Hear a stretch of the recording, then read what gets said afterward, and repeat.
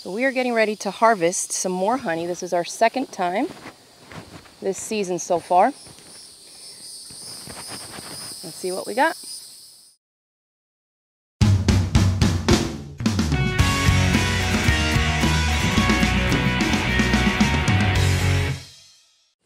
So this is a hive that we split from one of these and then we bought a new queen and then was it last week Gary that we checked on them? Yes. Yeah, and so they accepted her, everything looked good. So are you looking for brood now? I am, and we have uh, cleaned out polished cells in this So area. that's they're cleaning them out, prepping those cells for her. They clean out the honey to make room for the queen to lay. Yes. Amazing. Oh yeah, I saw her. Oh good, I spotted her with my own eyes before you even pointed it. So I'm There getting better. go. Because you saw her moving around in her little zigzaggy motion, Oh, right? yeah. Yep. Lots of protein here. Nice. All of multiple colors. And we got the entrance reducers just in case. Awesome. Yeah, that's a great idea. So that plastic thing is a queen excluder to help keep her down there. And that way, then the honey will be on these top ones and you don't have to worry about smashing her, killing her, doing anything, right? Correct. She won't fit through it, but the workers will fit through the excluder. Okay, so they can still go up and work the top box.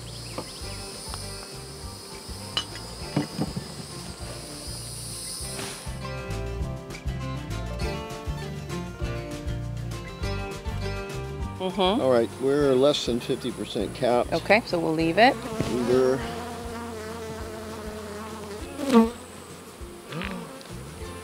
less than 50. Yeah, Oh, that looks pretty.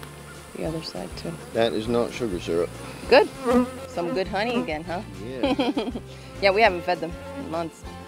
Since we just extracted, Yeah. we won't get a lot, but we'll get enough to practice. Cool. That is over 50, but not enough to extract. Uh, I'd say 70.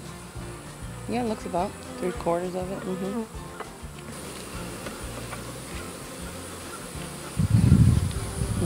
Very nice. No, not Yep. close enough. Okay.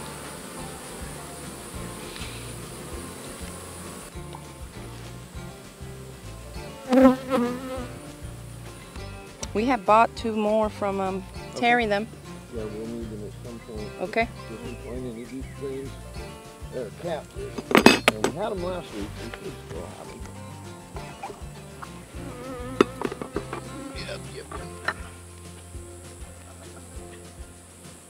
Well, you like to I've work seen- with no gloves or nothing. Yeah. That's a different story. I've seen some crazy ones in hives. Oh, now that Yeah. is 100%. But the other side isn't. Ah. oh. Ooh, oh, wow. that is close enough. Enough. I think so too, yeah. Lightly brush them back in the box. And then I will walk this over to Brandon, right, girls. There you go. who has an empty box.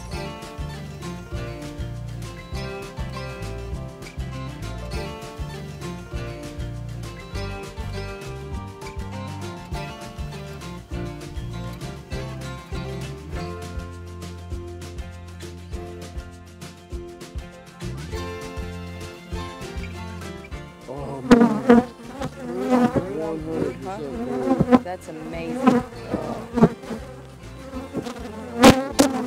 Okay.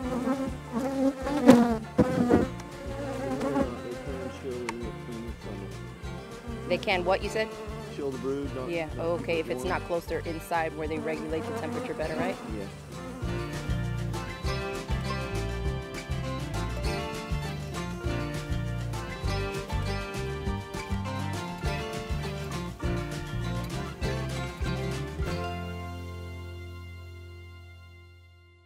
What is the the rule of thumb you say if it's more That- than what? That is close enough. Yeah, over okay. 90%. 90 you said? Mm-hmm. 85, 90ish? Mm-hmm. All right. Yeah. Depends on where you're at, like how much honey you need or if you're I got some things around. yeah. And the next one looks good too. Yeah,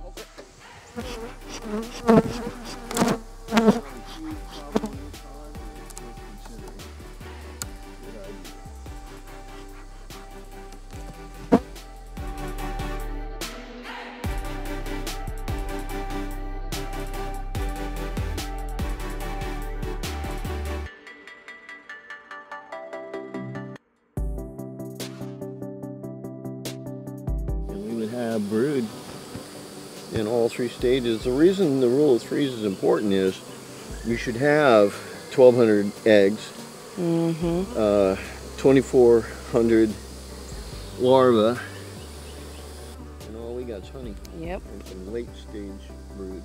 No fresh brood. So what stage was the brood at that we saw up top? It was all pupa. So then we don't see any queen down here. But what about those queen cups that look like hatched out? Of this. Okay. To let them move to wherever they need to, right? Yes. Or if there's one or two or whoever's in here.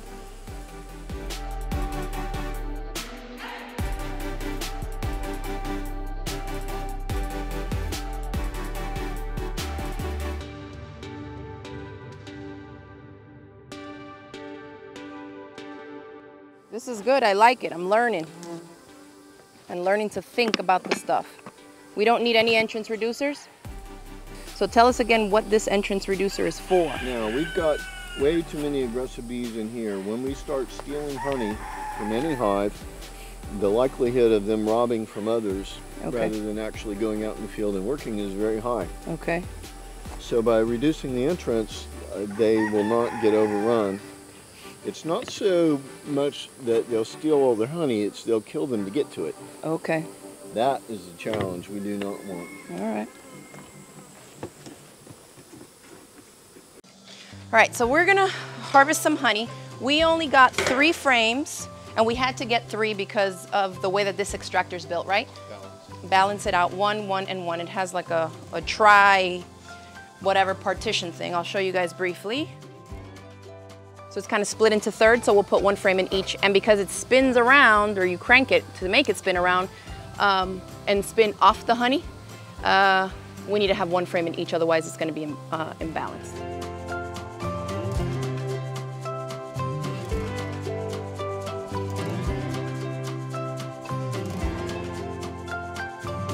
So I'm just taking this little tool and poking to break the seal, the, the comb or the wax seal on the honey, so that then when we put it in the frame, it's actually poked, you know, pierced through so that the honey can be able to be um, spun out of the frame.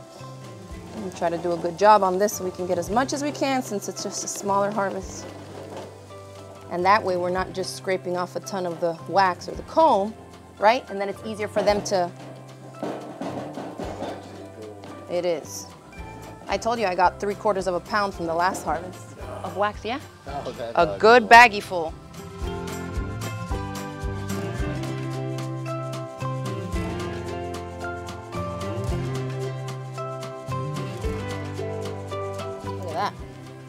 Nice. Gorgeous. One more. This is the darkest one. This is wildflower honey, you said, right? Oh, this is no sugar. Oh my gosh. Gary, look at the color on this. No. Beautiful, beautiful.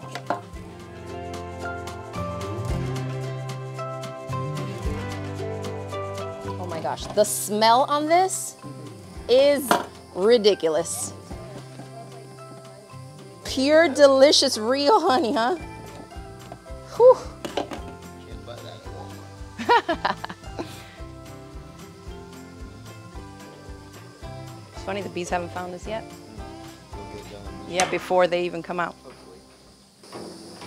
So now we're using centrifugal force to spin the honey off of these frames into the base of the extractor inside the can. So now all the honey goes there and we'll let it open on this front end here to then drain out what we got.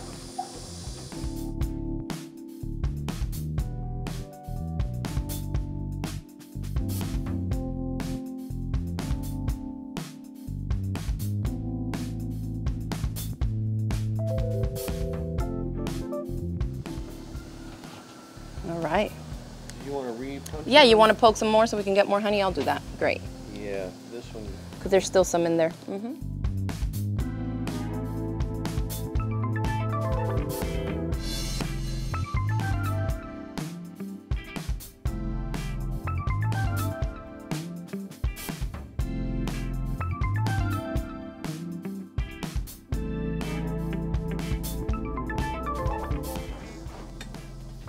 All right, so we're gonna open this up, see what we got. Put this little sieve right over top just to catch the last bits of anything, you know, debris, dead bees, bee parts, wax.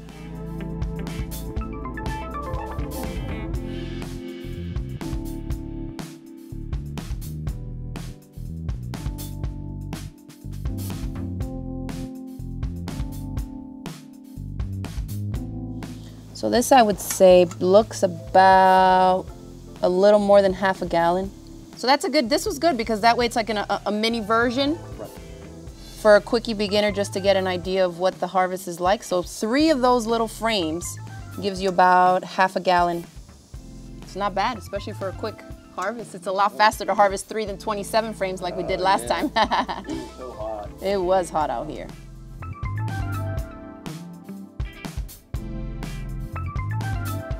So now you're squishing all the comb cells. Any honey that's in it will come out because the comb doesn't mix with the honey. So you'll be able to now.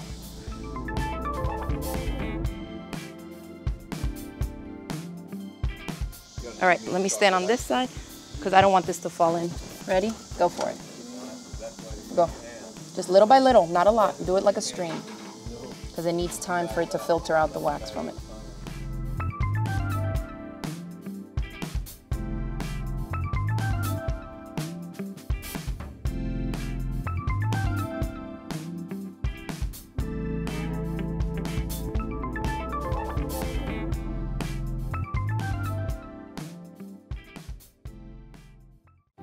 All right, so let's go ahead and jar up the honey. I just have a half gallon glass jar, a funnel here, and a strainer. And of course, now there's flies that got in the house that wanna access this honey too. So I'm just gonna pour this through here. And I just have the strainer on it. We already strained it when we got it out of the extractor, but I'm straining it again just in case there's any last bits of uh, wax or anything. This should fill up this jar, if not more.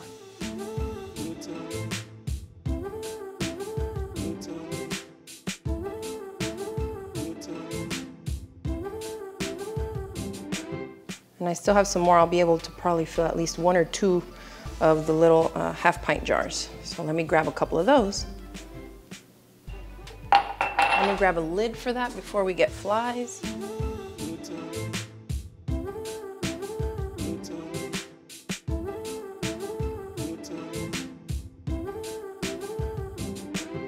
And I might have enough to halfway fill up another one.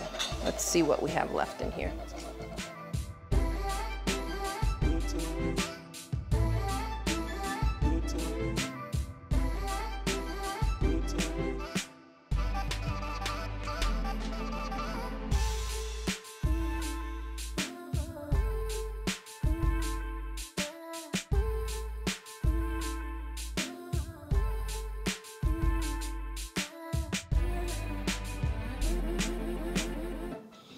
All right, so that's what we got. From three frames, we got a half gallon, a half pint, and a little bit more, almost a full jar. So not bad for a quick harvest.